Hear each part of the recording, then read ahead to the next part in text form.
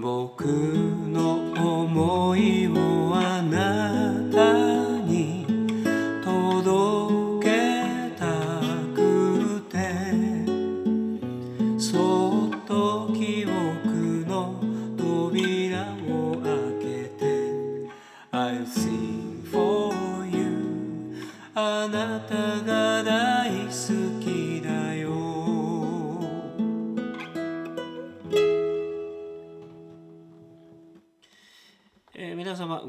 かがでしょうか？歌う投資家投資系 YouTuber のラジオエジです。今自分今一瞬自分誰だっけと思って。歌う投資家投資系 YouTuber のラジオエジです。えーよいしょ。5月28日火曜日時刻22時12分を13分を回りました。ラジオエジの夜トレ歌日記夜トレいい 何や？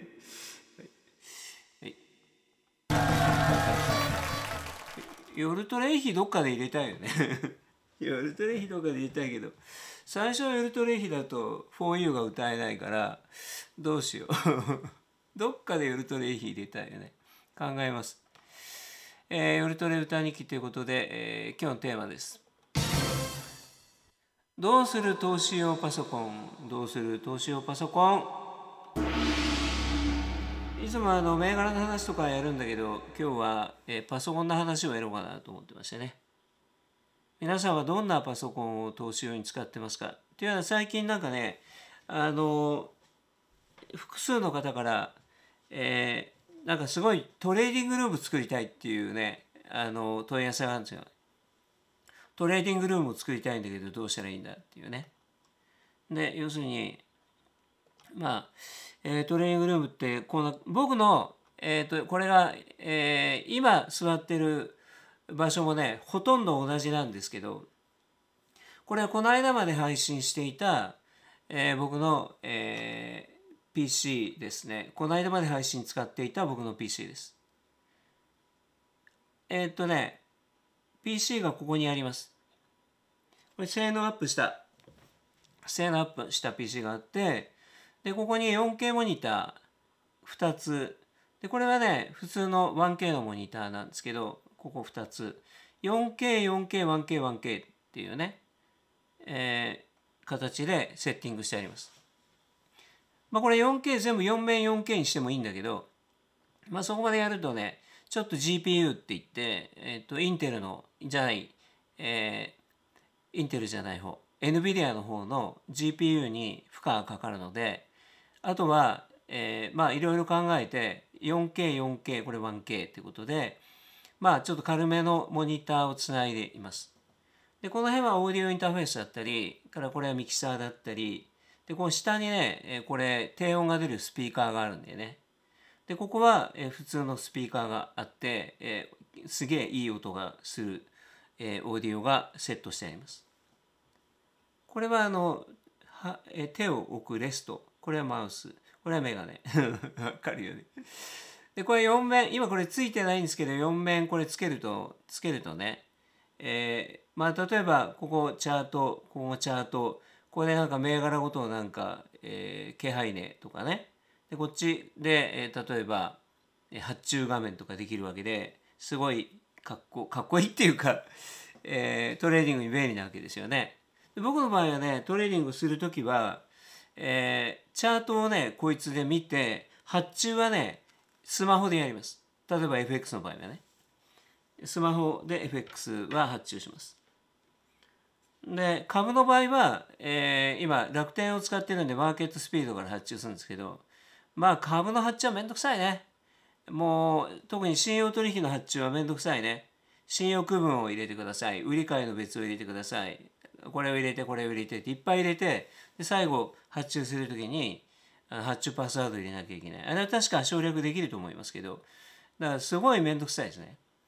でそれに引き換えあそれにそれに引き換えっていうかそれに比べてあの FX の方はワンタッチ P だからね。買いたい P 終わり。ワンワンタップで終わるからね。損切りもホイホイだから損切りもホイホイの2タップだから、えー前2022年に僕間違えて損切りしちゃったんだよね。ということでそういうこともありえるということですけどね。今この写真ってあれだよねこれ写真ここになんかあふわっとこう光が入ってますねこれは。あれはこれは心霊心霊あここに僕が撮ってる撮ってる姿が僕は出てますね。撮ってる姿が出てますね。はい。何かまずいものが映ってないかな大丈夫ね。あ、これは幽霊ではなくて僕です。で、ここに光がヒュッと入ってるのがちょっとこれは怪しいですね。怪しいですね。こういうもなんかもわもわと光が映ってますけど大丈夫でしょうかね、これね。で、こういうのをやりたい場合は、うん、パソコン、普通はさ、まあまあの、まあ値段によるんだけど、まあまあのパソコンだと、大体モニターが2台しかつながらないんですよね。でね、ちょっとまだ調べてないんですけど、4台、4台のね、モニターがつながる PC も、うん、あるんだよね。それはそんなに高くないと思うんだけどね。であと4台のモニターをどういうモニターをつなぐかによって、えー、値段が変わってくる。で 4K モニターが昔はね 4K モニター6万とか7万とか昔って、えー、その時によるけどねしてましたけど今は 4K モニターが大体 4K モニターで3万ぐらいで買えるんだよこれ。4K モニター。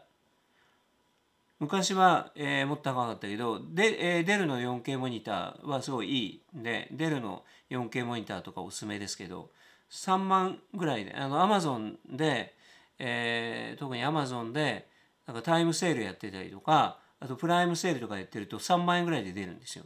で僕はそういう時に買い集めてるんですよね。で今だからここで2面使ってて今この目の前でも2面使っててもうちょっと違うところで1面使ってて 4K モニター5面も5面使ってるんだけどあと2つ持ってて それは3万ぐらいで買ったやつを持っててでそれを取り替えて今度新しいもう1個もう1つこれと同じ今僕はこれと同じセットを2個持ってるんですけどもう1個作ろうと思ってるんでそれで机を作ってるわけですけどね。でこれをだからねどうやったら作れるかっていうことなんですけどねまずモニターが4台つながる PC を探すそしてモニター4台つなげるんだけどモニター4台つなげる時にこれ後ろにねアームがあってでアームにこうモニターをねつなげてるんですけどこういうことをしなくちゃいけないし、えー、上に積み上げる場合には裏裏にモニアームで裏につけるんですよ。モニターアームっていうんで調べてもらったらできる出てくるんでね。だからモニターモニター4台つなげる、えー、PC を使って、えー、それで 4,、まあ、4台以上4台4台のモニター4面モニターを実現するかあるいは2面のモニターがつなげるパソコンはいっぱいあるから2面のモニターのパソコンを2台使って4面にするか。で6面にしたいんだったら2面のモニターがつなげる PC を3台。でこれだけどね2面のモニターがつなげるパソコンってまあ安い中古だったら5万円ぐらいで買えます。5万円ぐらいで買えるんで5万円もしないぐらいで買えるんでだから2台買っても10万。それにモニターをどんなモニターをつけるかによって値段変わってくるんだけどまあ、えー、安くやるんだったら20万ぐらいできるかな。20万ぐらいあれば、えー、できるかなと思います。もうちょっと安く上げれるかもしれませんね。って感じで、えー、モニターを、モニターがたくさんあると便利なんでね。で、あの、87歳のおじいさん、87歳のおじいさんの、えー、本が出てましたよね。あのおじいさんの本読んでたら、えっ、ー、と、おじいさんは、えー、あれは、えっ、ー、と、何さんだっけ忘れた。彼は、パソコン1台にモニター1台しか繋がらないって思ってるみたいで、モニター増やしたい時にはパソコンを買い足してモニター増やしてるって言ってましたけどうんとね大体のパソコンに大体2台まではモニターつながるんだよ。だから、えーと、4台の4面モニターを、えー、実現するためには2台でもいいし1台でもできるんだけど多分えっ、ー、と吉尾さんじゃないけど高尾さんじゃないけど誰だっけ？あの87歳のねデイトレーナーのおじいちゃんは1台で画面4つつながるとかもっと増設すれば1台で6台でもパソコンあモニターつなげれるつなげれるんですけどあのその要するにビデオカードっていうのを増設すればいいんだよ。ビデオカードっていうのを増設すればモニターつながるようになるんだよね。だから、えっと、それを多分ご存知なくて、えー、1台のパソコンに1台のモニターしかつながらないってだけどそういうふうに思ってる人多いんだよね。このノート PC なんかでもうちが販売してるノート PC なんかでももう一個あのモニターつながるんだよ。だ2台まで増設できる。2台までしか無理だと思うけど2台まで増設できるんだよね。そうするとね2台あると一面でモニあの大きくチャート見てもう1台で発注するとか楽なんだよね。だからあの本格的なトレーニングシステムを作りたい場合はモニター増やす。でモニターもいろいろあってモニターの解像度が高ければ高いほどいろんな情報がギュッと入るんですよ。だけどモニターの解像度が高いけどモニターがちっちゃい場合は小さく映っちゃうんだよ。だからモニターの解像度が高くてモニターがでかいほどモニターがでかくて解像度が高いほどいろんな情報を見やすく映すことができるんですよね。ちょっと難しいかな だからそれがちょっとね分かりづらいかもしれないですけどね。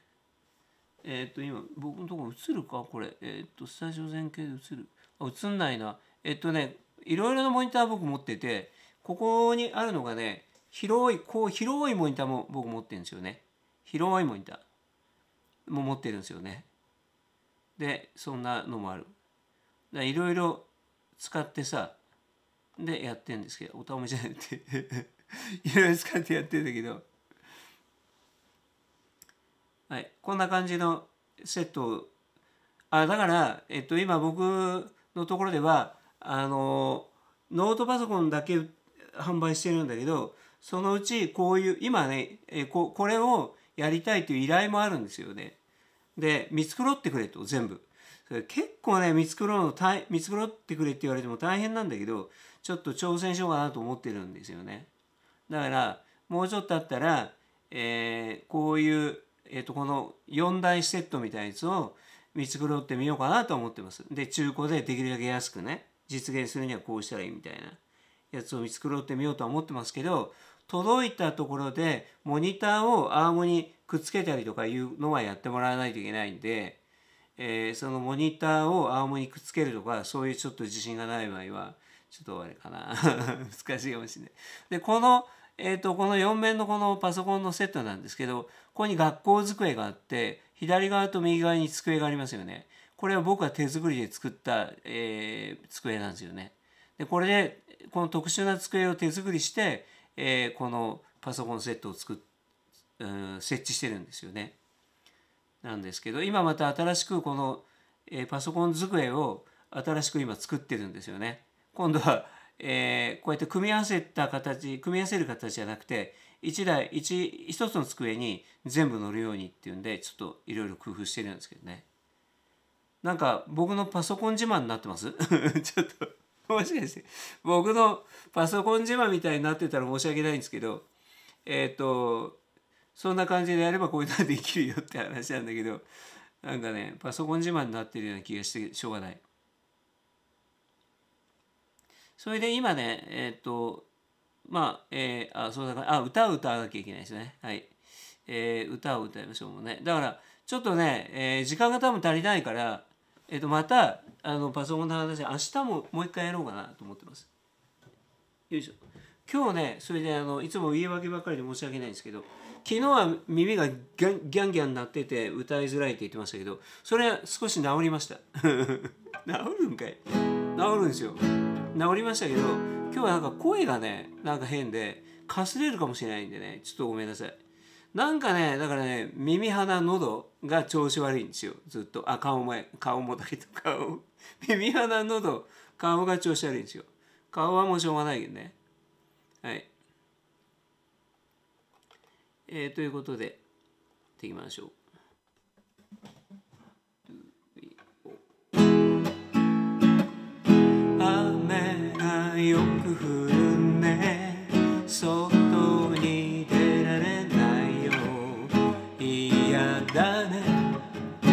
退屈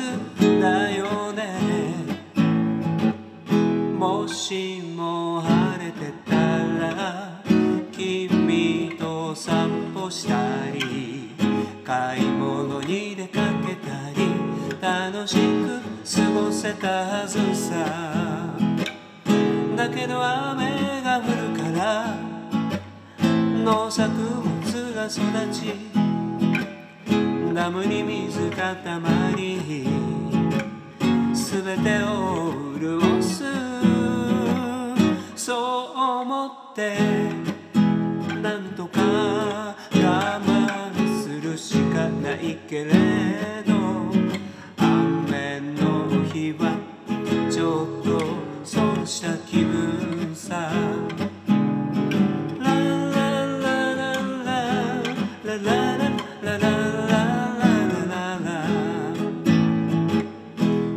今年の眺めは気象台始まって以来の記録的なものってお天気お姉さんが言うジメジメしとピッチャーの。雨はもう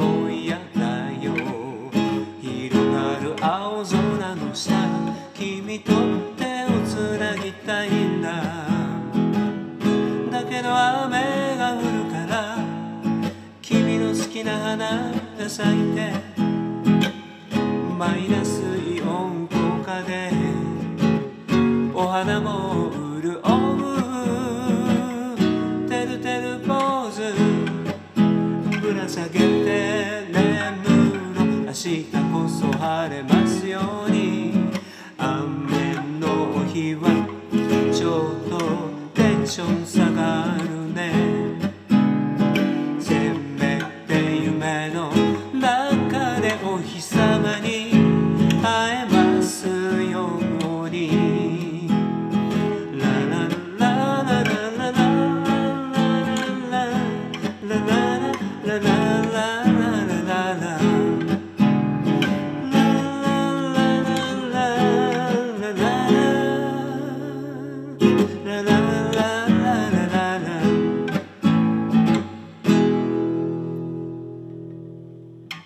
なんとか声出ましたかね？ちょっと今日かすれちゃってるんですけどねなんででしょうかね？たかだか2時間ぐらい喋っただけ喉が割と僕は丈夫な方で喋っても喋っても声は枯れない方なんですけどね。えー、ということで、えー今日ちょっとだから枯れかすれてるんだよね。今日はでもはあまり鼻声ではないか？鼻声だよね。もうねまあなんとかなるよ。耳もねなんか昨日はすっごいギャーになったんですけど今日は大丈夫でした。だけどうん大丈夫でした今日は。えーだからなんか日々変わるんですよね。ラジオ人の歌日記は歌と日記をお届けする不定期配信の動画です。FM ラジオみたいにしたい。ということで今いろいろやってますけどね。で今日はどうする投資用パソコンという話をしているわけですけど、えー明日もやろうと思います。えーそして今日今日もうちょっとねあのパソコンの話しようと思ってるんですけどね。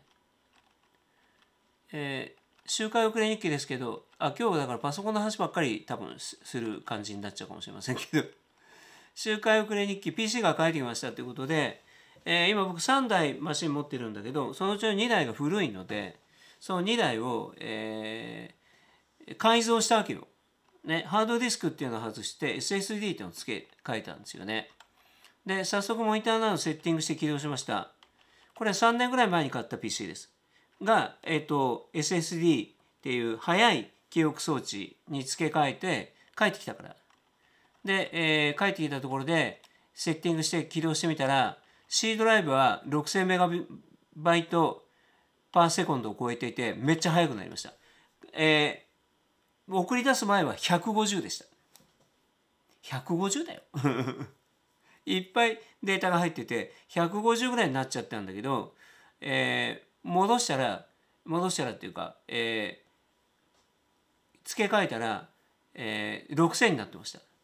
ところが D ドライブの方が、えー3500ぐらいしかスピードが出ないんですよね。でこれがよくわからないんだよね。なんでやねんってことで明日調べてみますけど、えーもしかしたらあれかなドライブレーターが変わってんのかな。まあいろいろ原因がまだちょっとわかんないんだけどとにかく両方が60006000になるはずだったんだけど片方が6000になって片方が3500ぐらいになってね。元は150でした。で今日いろいろ調べてみて1台目の PC は550までしか無理だって言われたんだけどでも調べてみたら1台目の PC も6000クラスまで上げることができたっていうことが今日判明しました。調べてみて。調べてだから向こうがね専門だからそれ調べてやってくれると思い込んでたんですよ。そしたらそこまで調べてやってくれなかったみたいで「えー、550ぐらいですよ無理ですよ」って言われたんだけど帰ってきてさもっと上がってると思ったら550だったからで電話したら「いや無理ですよ」って言われたんだけどでも実は6000まで上げられる状態だってことが分かりました。どうしよう。どうしようと思ってるんですけどね。えー、まあこれで総額で25万ぐらい、えー、かけて、えー、それで、えー、パソコン2台を、えー、改造したんですけど今のところまだまあちょっと満足度50%ぐらいかな だって、ね、これもスピードがうまく上がらなかった、えー、そして、えー、こっちはもっと上がるのにも上がらなかったってことがあるのでそれでもう少しスピードを上げていきたいと思ってるんですけどちょっと、えー、工夫して何とかしたいと思ってます。性能できる限り上げてで、えー、長く使いたいと思ってるんですよね。今パソコン新しいちゃんとしたの買うと100万って言われるからそれ1台買ったんだけどそのおいそれと買えないじゃないですか100万の PC じゃあ毎年100万の PC 買ってたらさ 何をなくなっちゃうお金がなくなっだからいや毎年100万のパソコンは買えないからだから古いやつをちょっとお金かけても直してそれで何年か使っていきたいわけですよ。ええ、なんでね YouTube 収入がもうちょっと上がればね買えるんだけどな。で今日はパソコンの話ばっかりになっちゃうんですけどメールを頂いてましてえー、Windows 10のパスサポート終了についてということで F さんから頂いてます。えー、いつも素敵な曲をありがとうございます。お忙しいところ申し訳ありませんが教えていただきたいことがありますということで、えー、2025年10月14日で Windows 10のサポートが終わりますっていうふうにパソコンに出てきました。私は Windows 10は11にはできない、対応していません。なので、いずれパソコンを購入しなければなりしなくてはなななりません。これ僕ちょっとね、文章を直してごめんなさい。なられ、なられま、今のパソコンはこうそうそういうふうに書いてなかったです。はい、僕はちょっと直して、直すの失敗した。今のパソコンは富士通のカスタマーで購入しました。私は下手な株取引、検索、YouTube 以外に特にこれってパソコンを使うことはありません。次のパソコンを購入するにあたっての注意点、どのような条件に気をつけたらよいのか教えていただけますでしょうか。それともう一つチャート力学とパソコンのセットで以前購入しましたが、えこれは力学専用にしています。でもこのパソコンもサポートが終わったらもう使えないでしょうか。うろ覚えですが、確かもともとは Windows 7だって書いてあったような気がしますと。よろしくお願いいたしますと。えー、素敵な記憶が私の頭に変わる変わる出てきて頭から離れません。これからもラジオ時 YouTube 楽しみながら拝見させていただきます。F よりということでメールいただいてるんですけどね。ちょっとずつ答えていきますけど、えっ、ー、と、まず Windows 10が終わるっていうことで使えなくなっちゃうんじゃないかって心配されてる方多くいらっしゃると思いますけど、Windows 10のサポートが終了してからも今回、えーと、今発表されているのは Windows 10のサポート延長コースがどうもリリースされるらしいです。やっぱり Windows 10ってめっちゃたくさん普及しているので、えー、Windows 10が終わったら困るって声が多いみたいで Windows 10が終わってもまださらに Windows 10を使えるような延長サポートコースが、えー、マイクロソフトから提供されるという話が出ています。これまだ詳細は分かりません。で、えー、あと、えー、そうですね。この後買う時に何を気をつけたらいいかってことですけど僕は、えー、あんまりパソコンをしっかり使わないのであれば、えー、デスクトップ PC であれノート PC であれそんなにパソコンをしっかり使わないんであれば中古がいいと思います。再生パソコン。再生パソコンうちはノート再生パソコンあ販売してますけどえーえーとね、デスクトップの再生パソコン僕も何台かあ1台か2台か買って1台か買って使ってるんですけど非常に快適なんですよ。でそれね僕が使ってる、えーデスクトップパソコンね、えー使ってるのは1万5,000円ぐらい 1万5,000円ぐらいなんだよね。で、えーデスクトップ PC の Windows 11に対応したデスクトップ PC は2万円ぐらいであります。えーにえーとね、ノートよりあのかえって安いんですよ。だからデスクトップの再生の再生パソコンだと2万円ぐらいで結構いいのが買えるんでねモニター2台つながります。なんでそういうの買ったらいいんじゃないでしょうか。安いから。ね再生パソコンで探してもらったら、えー結構いいの出てくると思うんですよね。であとチャート力学とパソコンのセットで購入させていただきましたこれはいつ頃かわからないんですけど結構前だと Windows 10で出荷してるあのノート PC あると思いますその Windows 10で出荷しているノート PC はやっぱり Windows 10が終了すると使えなくなるのですが実は裏技がありまして、えー Windows 10の PC をまあ無理やり Windows 11にしちゃうことができるんですよね。やばい。できるんですよね。で、えー無理やり Windows 11にしたパソコンはちょ無理が出てくることがあるんですけどそれはまたうまいことをやって Windows 11で使い続けることがまずいかこれ。できるんですよね。裏技があるんですよ。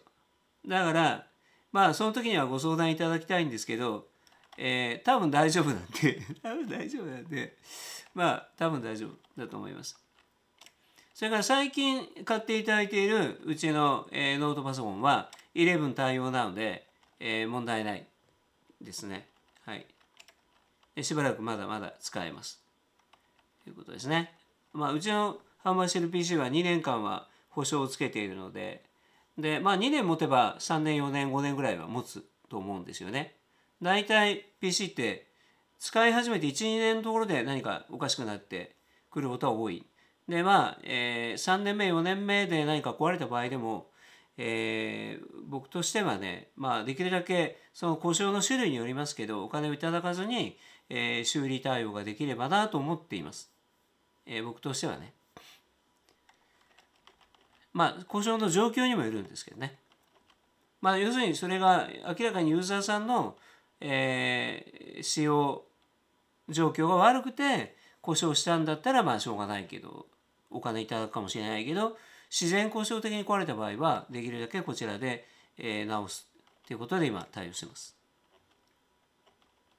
ということなので大体お分かりいただけましたかね。まあ、えーノートを買うにしてもノートもね、えー再生 PC の方が、えー高性能で安いのでそっちがいいんじゃないかな。で一番おお買い得なのが実はデスクトップの再生 PC です。ということですね。えーというような話。ちょっとまとまりがなかったかもしれないね。今日はね。なんかね。で、えーちょっともう、またもうちょいお話ししてもいいかなと思うんですけどね。はい。まあ大体でも、このメールの紹介もできたんで、Windows 10の話もできたんで、はい。だからこれから買う場合は、やっぱり Windows 11に対応した、えー再生 PC がいいんじゃないでしょうか。と思いますけどね。ただ、あの、再生 PC の場合は、無理やり Windows 11に対応しているやつと、大丈夫なやつと2種類あるので、Windows 11に対応しているのあの再生 PC は2種類あって、無理やり対応版と大丈夫版と2つあるので、それは確かめていかなきゃいけない。ということです。ということで、あ、そう、それで、えー今日も願い歌って終わりますけど、今ね、えっと、片付けの最中で机を作ってるんですけど、はい、えー机が今どこまでできたかね、ちょっとね、えーちょっとお見せしましょう。今、えっと、天板のところができまして、次足を作るということで、この、えーこの字型のこういう足をね、4セット作って、これを机の下にえー、また接着して机を完成させるわけなんですがこのこの字を4つね。これを今この字を4つを接着しています。どのような形で接着しているかと言いますとこんな感じで接着しています。えこの字が、えー、四角になってるじゃないかっていうことかもしれません。けどこれがねこの字のここがねこの字の部分でここは、えー、このこの字を接着する際に、えー、歪まないようにこのこの字が歪まないようにこの木で同じ寸法の木で支えてるんですね。で、えー、出来上がりはこれです。これが明日の朝になりますと4つできますのでそれをちょっと今ここにかんちょっとかすかに映ってますけどこれが天板ね天板の部分これに下に4つ貼り付けてでまああと8時間ぐらいで終わりなのでうまくすれば明日の、えー、夜トレの時間には机ができているということで、えー、完成披露ということで。なんかこれも自慢になってますか？これはなんか机作ってるぞ自慢になってますか？だったら申し訳ないんですけどね。はい。こんな感じで僕は釘を一本も使わないのでここボッコボンドでひたすらくっつけていくんですよね。だから釘とかネジ使えばもうパッパパーッと組み立てられるんだけど僕はなんとなくそれ釘とかネジを使うのが嫌ででクソめんどくさいんですけど一個一箇所一箇所こう貼り付けていくっていうね木工ボンド木工ボンド木工木工ボンドを使った木工をやるんだよね。で今こうストップウォッチがありますけどこれ8時間、えー、何時間、えー、接着開始から何時間経ってるかをこれで測る測りながら、まあ、8時間やれば大丈夫ってことで8時間経ったらこのクランプっていうのをパコパコって取ってで完成させていくわけなんですけどね。はい。ということでなんだろうねこの動画はね本当に 本当に個人的な動画って感じなんだけどねまあでも今日パソコンの話もしたので、えー、多少参考になったのではないかと思ってますけどね。なので、えー、皆さんもいいパソコンいいというかお値打ちなできるだけね目的に合った僕は録画をやるのでね録画とか動画の編集とかいろんな高度なというかパソコンに負荷のかかることをやるので今のこの録画だけでもねすごいパソコンに負荷かかるんですよ。これはねだから、えー、まあある程度高価なパソコンじゃないとこういった録画はできないですよね。なんでねでこうやって歌詞出したりとか画面切り替えとかたりとかやってるわけですけどこれはある程度高いパソコンじゃないとできない。願いを歌って終わっていきたいと思います。今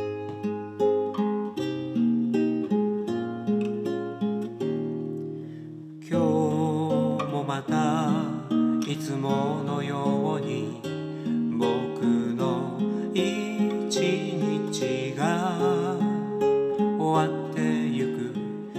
族のこと友達のこといろんな思いが心に巡る。あなたの今日の一日は幸せでしたか？あなたの大切な人と笑顔でたくさん。